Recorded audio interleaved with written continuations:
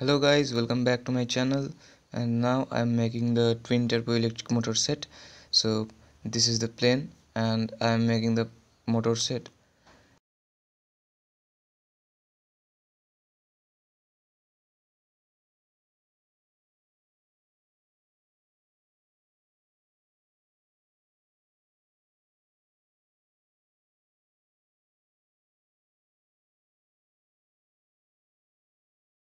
you must remember that both the motors will rotate in opposite directions so that they can cancelize each other's drag. And each motor must have same kind of uh, blades but in different directions from within the other one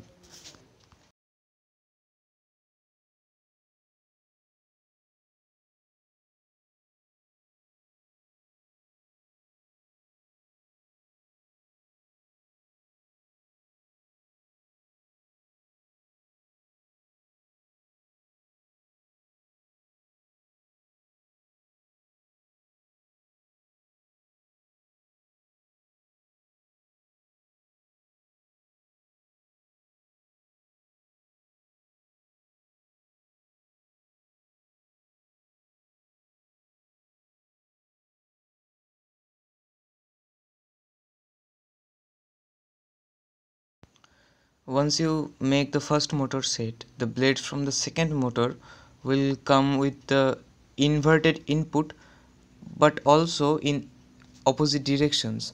Like the first set uh, are set to clockwise directions the blades are in clockwise directions but the second motor set will have uh, anti-clockwise directions and inverted input also. So you must remember that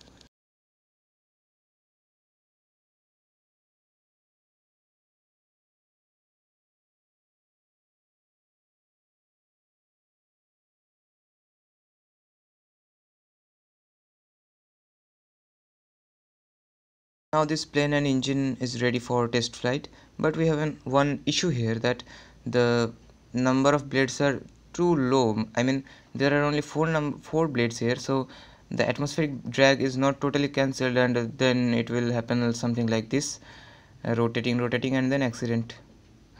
Yes. So i have come with three or i mean six propellers here and this plane comes with high aerodynamic lift.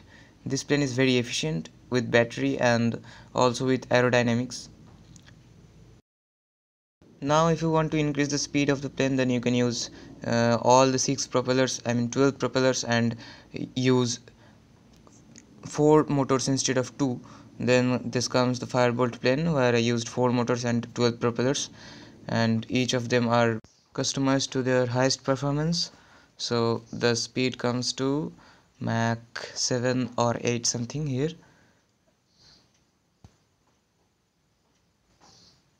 This plane is a little bit oscillatory in lower altitude like 1 kilometer or 2 kilometers but this plane is highly stable in higher altitudes. And with comes with also very high speed like this. And if you don't like the propeller design then you can use the propellers inside i mean behind the plane like a jet engine. So but you have to remember that you must opposite the direction of thrust so that this plane can move forward not backward. This plane can also move high speed like this but also this plane has some issues on aerodynamics and lift vectors here. So you have to be careful for customizing this plane. Now i have come with some uh, jet engine dy dynamics here uh, I've used compression sets here. Air compresses or increases the speed of air through this motor sets and the thrust manipulates itself. But this plane has also some issues on stability of propulsion units. Uh, this motor can't uh, take much more thrusts or much more air pressures. So they're a little bit of unstable in full throttle.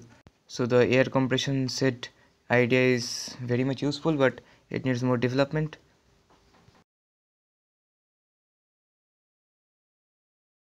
So guys please like this video and subscribe our channel.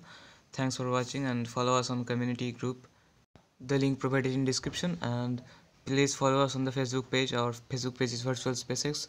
This link is also provided in description. All the planes have link provided in description. So thanks for watching this video and goodbye. Thank you